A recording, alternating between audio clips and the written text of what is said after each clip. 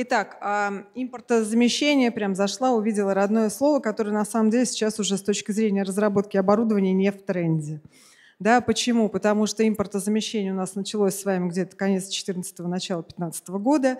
Кстати, тут коллеги, которых я до этого слушала, рассказывали о том, как они, посмотрев на рынок, поняли, что нужно заняться разработкой самостоятельно. Да, вот с точки зрения рынка вычислительной техники, разработчиков, производителей, помимо тех метров классических наших компаний, которые уже были на рынке, действительно был некий тренд, когда многие крупные заказчики да, а, и системные интеграторы тут же решили, что, в общем-то, а почему бы не заняться импортозамещением и не начать заниматься а, вычислительной техникой. В общем-то, кстати, у многих неплохо получилось.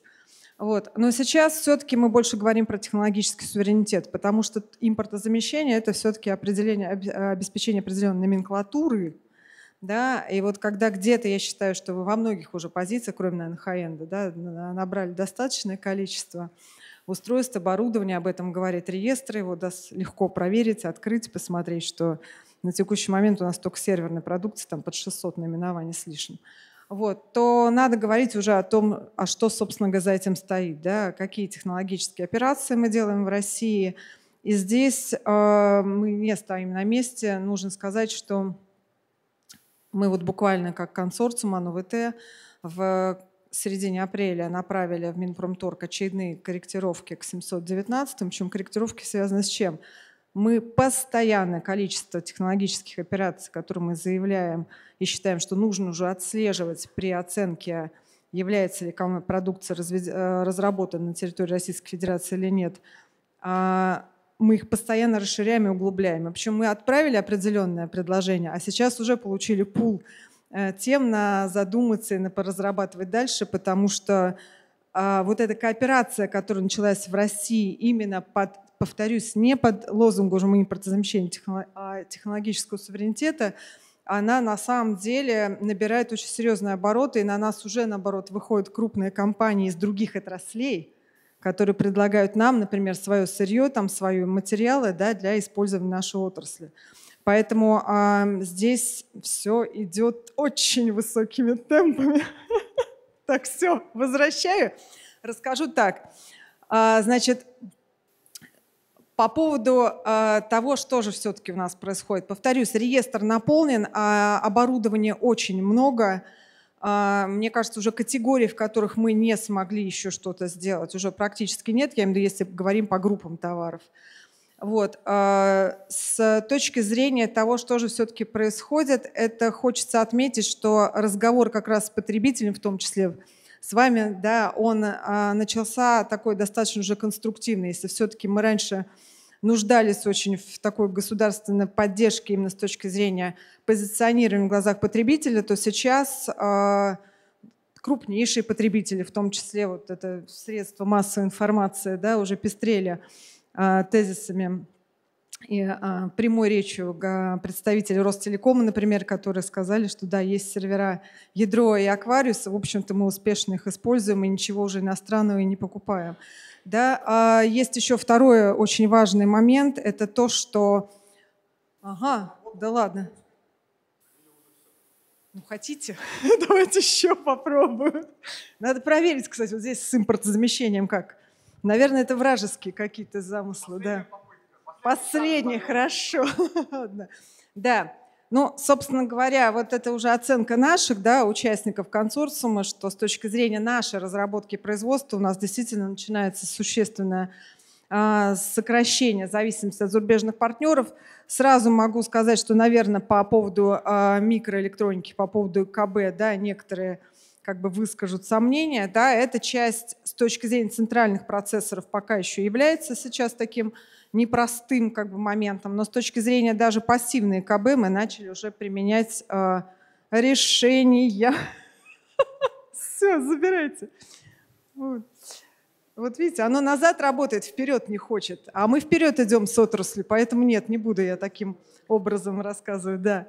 Значит, а что еще важно, что, собственно говоря, с нашими устройствами мы вышли в потребительский сегмент, да, и сейчас э, все наши крупнейшие площадки, онлайн-магазины, они уже имеют э, Порядка пяти брендов представлено на нашей продукции, ноутбуки, моноблоки, планшеты есть. И, в общем-то, те опросы, которые проводят, проводят дистрибьюторы, а, показывают, что, например, там 66% а, потребителей доверяют нашей продукции. Это на самом деле очень классный показатель с учетом того, что мы вышли в ритейл буквально вот год назад, считаем, даже меньше.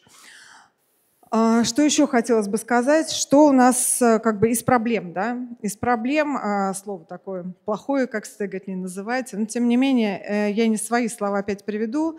Был ЦИПР, я думаю, многие там участвовали, да, и когда опросили а, представителей отрасли, так э, что по-прежнему является болевым и ключевым, это на самом деле, конечно же, вопрос доступа к финансам, потому что когда отрасль рас, уже, я бы не сказала, растет не вширь, а вглубь, да, с точки зрения технологических операций. Это серьезнейшие инвестиции. И э, второй вопрос – это, конечно же, кадры. Да, что касается инвестиций, здесь очень важно для нашей отрасли, чтобы сохранилась, э, с одной стороны, ситуация с определенными мерами государственной поддержки, в том числе, например, льготным кредитованием – и э, налоговые льготы, которые существуют для нашей отрасли, нам очень важны, потому что именно они, э, мы тут недавно проводили опрос, несколько компаний, которые уже в тот момент предоставили информацию, а это такой очень маль, маленький процент. Компании, там порядка пяти компаний, причем не, очень, не самых там, то есть они не самые крупные, они разные достаточно по, по объему, тем не менее показали у них экономию порядка 1 миллиарда составила. И этот миллиард уже был направлен как раз и на расширение штата, и на расширение мощностей, и в том числе на новые разработки.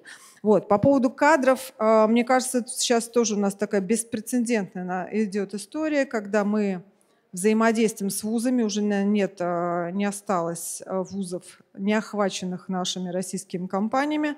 С точки зрения сотрудничества оно очень многогранное, плюс развитие производств привело к тому, что ну, мы сейчас серьезно смотрим на тему среднего специального образования, да, а с другой стороны, с точки зрения популяризации, разумеется, мы работаем даже со школьниками, чтобы они как раз знали, что на чем они, собственно говоря, работают, знали нашу технику, а, и, в общем-то, уже росли с несколько другим восприятием а, российской нашей радиоэлектронной продукции.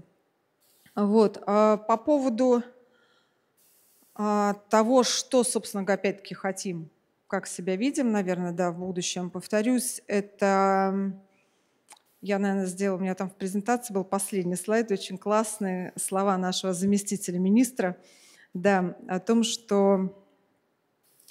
Оп-оп-оп, давайте, давайте, давайте. Вот, вот, нет, спасибо, спасибо, это я скажу обязательно, тем не менее, никакой искусственный интеллект без электроники работать не будет.